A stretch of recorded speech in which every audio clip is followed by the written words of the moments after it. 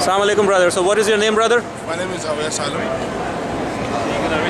What is your name, brother? Yes, Danny. So, brother, do you think Mecca Bay uh, is a good idea? How do you think about Mecca Bay? Very good idea. Very good. It's all Muslim stores selling under one website. We want all Muslim stores to unite and come under one banner, meccabay.com, and sell to the entire Muslim community around the globe.